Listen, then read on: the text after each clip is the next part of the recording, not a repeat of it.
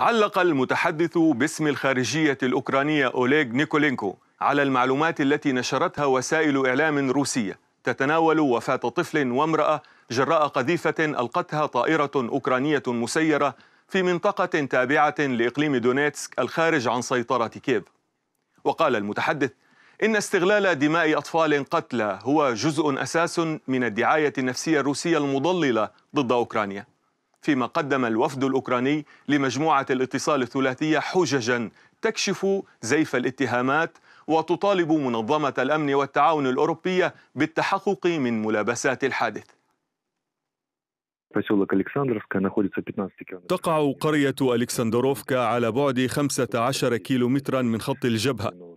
الطائرات المسيرة التي يمكنها إلقاء عبوات ناسفة عادة ما تكون طائرات رباعية. وهي لا تستطيع التحليق إلى مثل هذه المسافات.